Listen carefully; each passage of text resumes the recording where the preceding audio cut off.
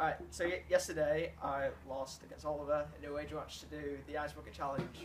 So this is the ice bucket thing. The ice, not got much. Yeah, just put it in anyway. That's all of it in there. It's like no ice, but I will. And a cold bucket of water. And a very cold bucket of water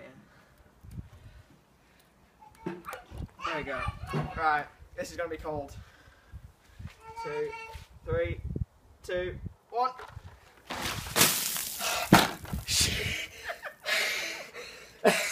it's cold. Oh god. An ice stuck in my head.